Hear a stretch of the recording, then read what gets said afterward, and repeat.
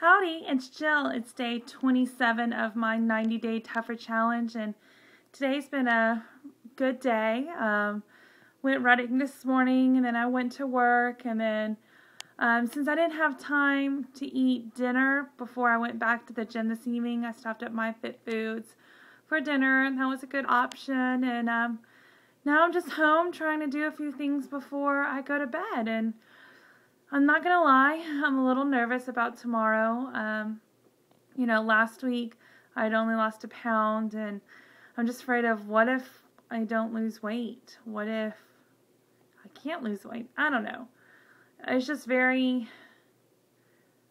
Tuesday nights are kind of nerve wracking for me because I work so hard throughout the week. I just wanted to see it on the scale. And I have to remind myself that sometimes the victories aren't on the scale um, that I'm losing inches and building muscle. And I just got to keep reminding myself. So if I get down, please remind me. Um, so that's kind of it for me tonight. Day 27 complete. See y'all tomorrow.